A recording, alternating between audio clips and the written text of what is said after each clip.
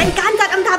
คนที่รักนกแล้วก็อาศัยอยู่ที่คอนโด น้องเขาเสียงเบามากทุกคนตำรานะคะเขาบอกมาว่าการที่น้องเนี่ยส่องกระจกเหมือนกับเขาเห็นเพื่อนเขาก็เล่นอยู่กับกระจกก็คือเหมือนกับเล่นกับเพื่อนเขาแต่จริง ๆ แล้วไม่ควรจะให้น้องเล่นกับกระจกตลอดเวลาเพราะน้องอาจจะไม่เชื่องได้มินมองหลาย ๆ ครั้งแล้วก็ยังตกหลุมรักอยู่เลยค่ะบางสายพันธุ์เนี่ยบอกได้เลยว่าฟังแล้วฟินมากเราก็จะรู้สึกผ่อนคลายไปด้วยนะจากน้องจะมีความเป็นมินิมอลตัวเล็กน่ารัก แล้วก็มีสีพาสเทลณปัจจุบันยังเป็นสายพันธุ์หนึ่งที่เป็นที่ยอดนิยมอันดับหนึ่ง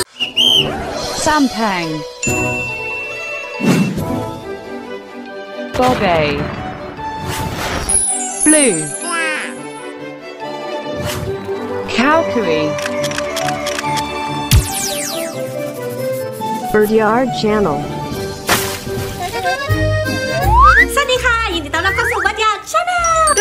วันนี้เรามาทำคลิปกันอยู่ที่บ้านค่ะไม่ได้ทำคลิปที่บ้านเนี่ยมานานแล้วนะ แล้วก็หลายท่านนะคะ ที่เคยได้ดูคลิปสมัยก่อนเนี่ยเราก็จะเล่นกับน้องนกเนี่ยอยู่ที่บ้าน แต่ตอนนี้นะคะ น้องนกก็ย้ายไปอยู่ที่ฟาร์มกันหมดแล้ว ตอนนี้ที่บ้านเนี่ยก็จะเหลือแค่น้องเต่า แล้วก็น้องปลาทองนะคะแล้วก็ได้โอกาสเนี่ยมินก็จะย้ายน้องๆทั้งหมดที่อยู่บ้านไปอยู่ที่ฟาร์มกันเลยสำหรับคลิปนี้ไม่ได้เป็นคลิปอะไรค่ะ เป็นการจัดอันดับของบ้าน Bird Yard Channel จะเป็นการจั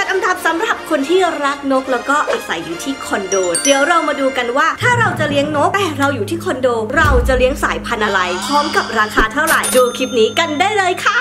โอเคค่ะ เพื่อไม่เป็นการเสียเวลานะคะ เรามาเริ่มการจัดอันดับละกันเอ๊ะแต่บอกก่อนนะว่าการจัดอันดับครั้งเนี้ยเป็นการจัดอันดับของบ้านเบิร์ดหยาดชาแนลนะคะ ก็เดี๋ยวเรามาดูกันว่าที่บ้าน Bird Yard Channel จัดอันดับสายพันธุ์อะไรกันบ้างนะคะ มาเริ่มกันเลยค่ะ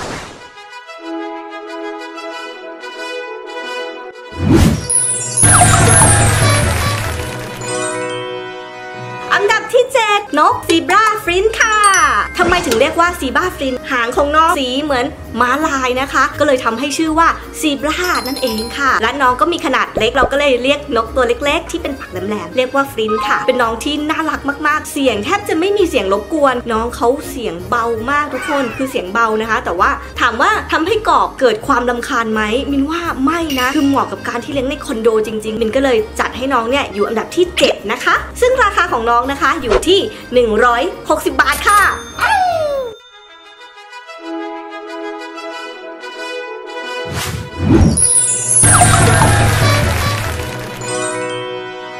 ที่6ฟรินเจ็ดสีค่ะ เมื่อกี้เป็นสีบ้าฟรินใช่ไหมคะ ตอนนี้ก็เป็นฟรินเจ็ดสีสำหรับท่านใดนะคะ ที่ชอบแบบว่ามีความหลากหลายของสีจะเป็นอีกทางเลือกนะคะสำหรับคนที่ชอบสีสันเยอะๆก็จะเป็นฟรินเจ็ดสีนั่นเองค่ะ ซึ่งฟรินเจ็ดสีนะคะ น้องตัวเล็กเหมือนกันเลยค่ะ แล้วก็เสียงเนี่ยไม่ก่อให้เกิดความรำคาญ ซึ่งบอกได้เลยนะคะว่าเหมาะสำหรับมือใหม่เจ็ดสีนอกจากจะมีสีสันที่สวยงามแล้ว น้องยังขี้อ่อนแถมยังน่ารักตะมุตะมิซึ่งราคานกตอนนี้นะคะอยู่ที่ 600 บาทค่ะ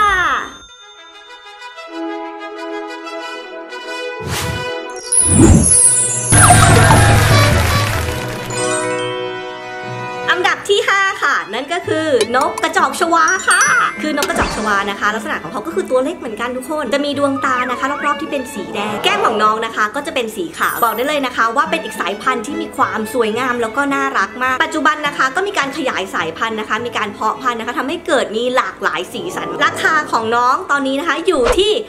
350 บาทค่ะ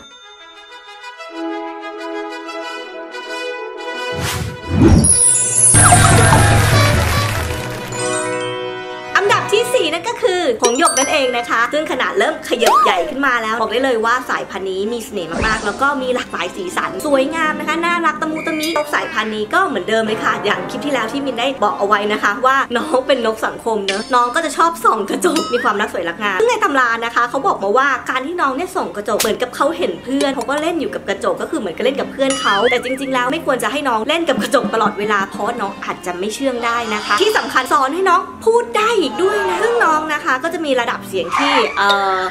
ไม่ได้เสียงดังเลย เสียงก็กระจุ๊กกระจิ๊กเล็กๆน้อยๆแล้วก็พูดได้ด้วยก็เป็นอีกสายพันธุ์หนึ่งที่มินแนะนำนะคะ ในอันดับทีสี่4 ค่ะ และราคาตอนนี้ของน้องนะคะอยู่ที่ 100 บาทค่ะ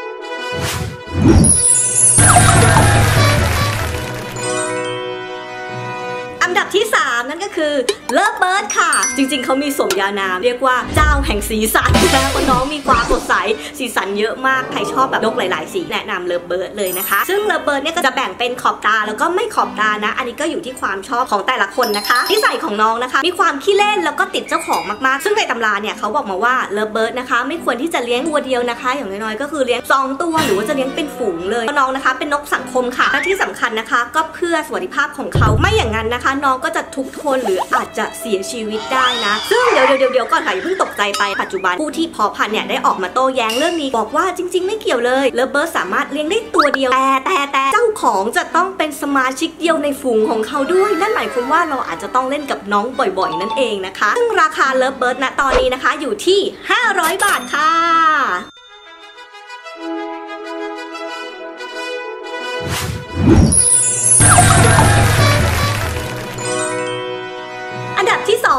คือ Cockatiel นั่นเองค่ะอุ้ยสายพันธุ์นี้นะคะ เป็นอะไรที่มินมองหลาย ๆ ครั้ง แล้วก็ยังตกหลุมรักอยู่เลยค่ะ น้องเนี่ยขี้เล่นอารมณ์ดีเป็นพิเศษเลย และลักษณะของน้องนะคะ จะสังเกตว่าที่แก้มของน้องเนี่ยก็จะมีแก้มที่เป็นสีส้มสองข้างเลยนะคะ ดูแล้วเหมือนน้องเขินตลอดเวลาเลยนิสัยของน้องเนี่ยจะค่อนข้างรักสงบนะคะ แล้วก็ไม่ชอบเสียงวกเวกวายๆดังแต่ว่าสามารถเปิดเพลงบรรเลงให้เขาฟังได้นะคะเลี้ยงตัวผู้นะ จะพูดเก่งมากๆเลยถ้าเราเปิดเพลงซ้ำๆซ้ำๆให้เขาฟัง เชื่อไหมว่าร้องเพลงได้เหมือนกันนะเสียงของน้องก็ไม่ค่อยดังนะคะ เสียงเบาค่อนข้างเบา เป็นอีกตัวเลือกหนึ่งเนอะที่ใครอยากจะเลี้ยงในคอนโดสายพันธุ์คอกเทลเนี่ยมินก็ขอแนะนำเลยค่ะ ปัจจุบันนะคะ ราคาของ Cockatiel เนี่ยอยู่ที่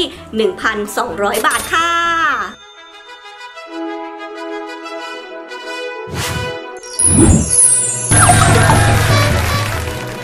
อันดับที่หนึ่งนกแก้วโฟพัดค่ะ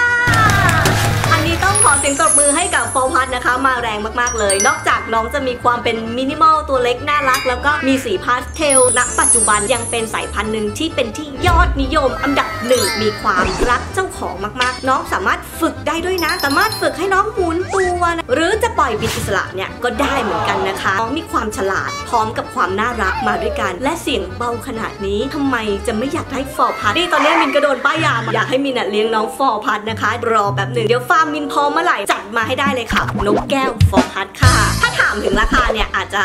มีเสียงหัวเราะเบาๆนิดนึงนะคะ แต่ว่า เอาเป็นราคาเริ่มต้นแล้วกันเนาะราคาเริ่มต้นของ Forpus นะคะอยู่ที่ 500 บาทค่ะ ราคาเนี่ยจะค่อยๆ ขยับไปเรื่อยๆ ก็อยู่ที่สีของน้อง เอาเงี้ยงี้ถ้าเกิดว่าใครอยากรู้เกี่ยวกับนกแก้ว Forpus นะว่าตอนนี้สีเท่าไหร่บ้างก็เข้ามาดูเออคลิกเข้ามาดูข้างบนนี้ได้เลยนะคะ ราคานกแก้วที่มินได้ทำคลิปเอาไว้นะ ก็จะมีหลากหลายสีพร้อมกับราคาด้วยนะคะ ลองเข้าไปดูได้เลยค่ะ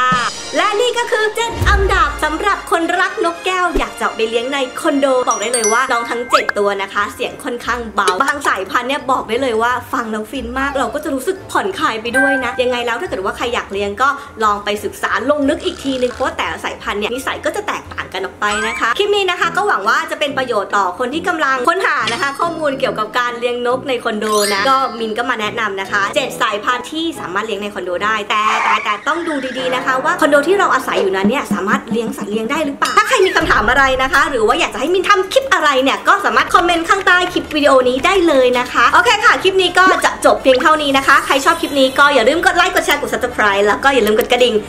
ไปก่อนค่ะ บ๊ายบาย